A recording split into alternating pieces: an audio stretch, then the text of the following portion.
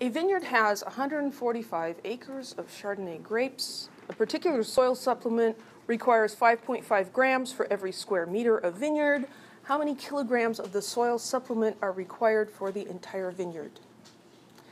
Does that sound like a practical problem if you owned a vineyard? It does.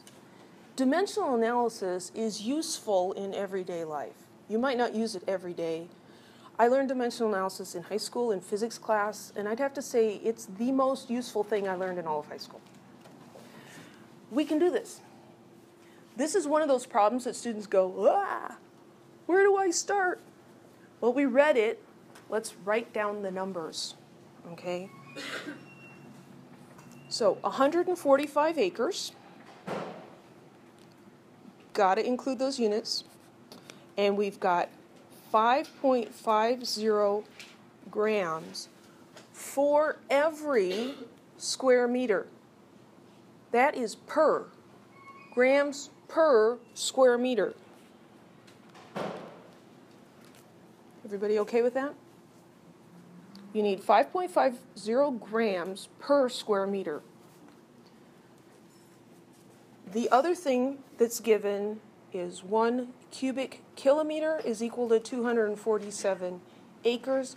I'm not going to rewrite that because it's just right there and nice. What are we trying to find? Kilograms. So we have three things over here. We've got this conversion factor that was provided to us. We have 145 acres. We have 5.50 grams per square meter. There's a typo in this problem. You see it? Is acre a unit of volume or of area? Area. It's not cubic kilometers. It's square kilometers. Okay, I feel better now.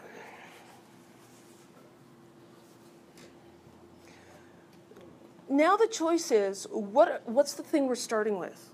We have to know where we are so that we can figure out where to go. Let's look at these units. This is just a single unit.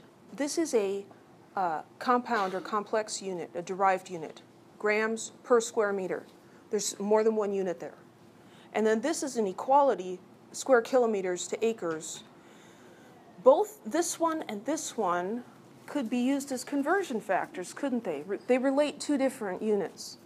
This one cannot be used as a conversion factor. So the number that just has the plain old unit is probably where you're going to start. So we're going to start with acres, and then we're going to figure out what we can convert acres in to get us closer to kilograms. Yeah, maybe we should use this thing that they gave us. We could do acres to square kilometers using this. So we could go to square kilometers. And we're like, yeah, I don't know. Um, well, let's look at this. What's in here? Grams and square meters. So if we went to square meters here, which we could do because we know what kilo means, that might be nice. And then this allows us to convert between grams and square meters, so we could get to grams. Can we convert from grams to kilograms? Mm-hmm. This is the hardest part of the problem figuring out the path. And that's something that you need to get good at to be successful in Chem 1A. And I can help you get better at it, but you have to ask. Now that we've got the path, it's a piece of cake. We just follow our pattern. We say we have one, two, three, four arrows. I'm going to have four conversion factors. I'm going to start with 145 acres. And I'm going to write four lines. One, two, three. Oops, I made them too big. Sorry about that. One, two, three, oh, still too big. Oh well, four. acres, square kilometers, square meters, grams, kilograms. Just copy them down.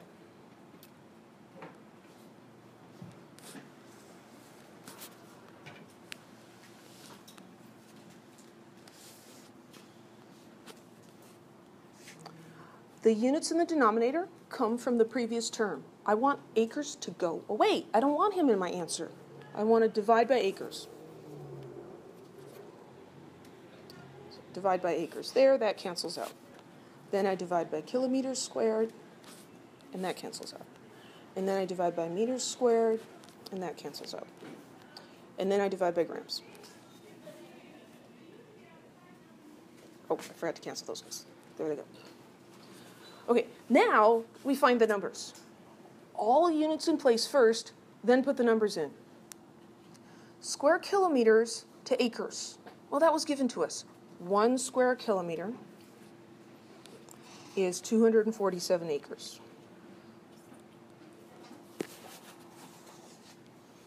Meters squared to kilometers squared.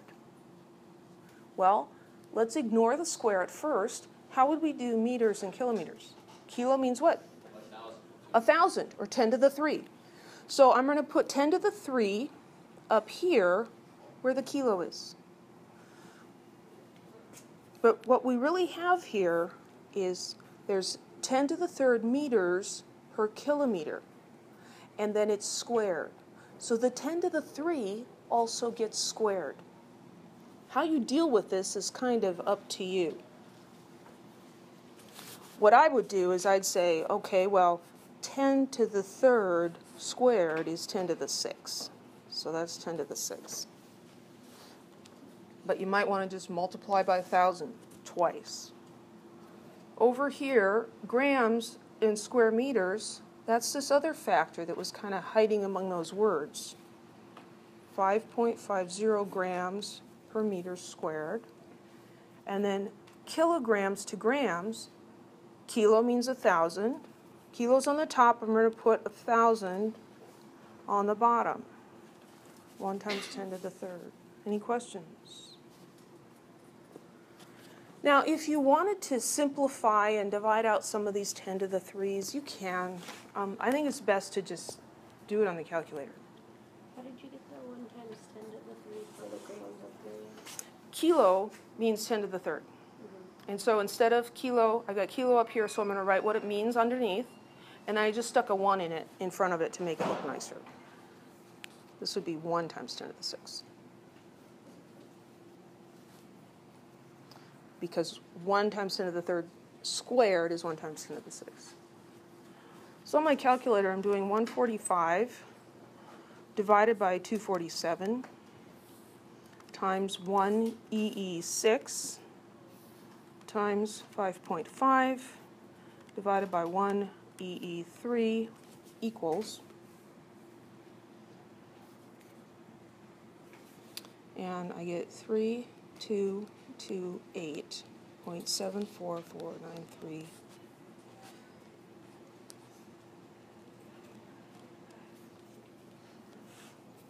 kilograms. Is that a reasonable number?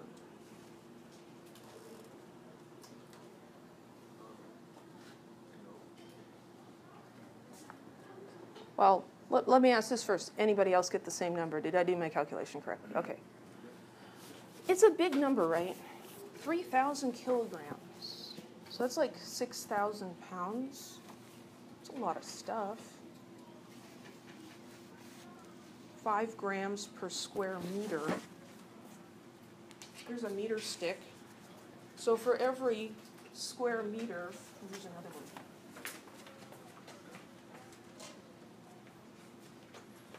That vineyard is 145 acres. I'm not a real good judge of acre, but acres big, right? It's a lot bigger than your yard, unless you live out in the country. So every piece of vineyard, this square, needs five grams. Are there going to be a lot of those squares in a 145 acre vineyard? Yeah. So we probably are going to need a lot of soil supplement. 3,000 kilograms. How many sig figs should that have? Three. Our starting number has three. Acres and square kilometers, that's not exact. That has three. This one's exact. This is not exact. That has three. This one's exact. They all end up having three. So for the first one, um, 145 acres, would that be exact? Because like, Nope. no. No. You might be tempted to say that that's exact. Well, they measured it out. You know, they, the surveyor came out, it's exact. No measurement is exact. 145 acres has three safe. So, um, we need to round in the tens place. We need to be careful. I don't have any space left. I'll, uh, I'm gonna go I'll go up to the very top. So we could put this in scientific notation 3.2, and then we're going to keep the 2, but we need to round that up to a 3. 3.23 times 10, and we're going to go from here. 1, 2, 3. We're moving it three places, and that's going to be kilograms. 3,000 is a large number, large number, positive exponent. So we need 3.23 times 10 to the third kilograms. Any questions? Yes. You said some of the conversions in there were significant figures. Which ones were those? It's the kilometers squared to acres, this one. You do have to consider that. That's not an exact conversion. How do you know it's not? Because acre is an English unit of area, and square kilometer is metric. Okay,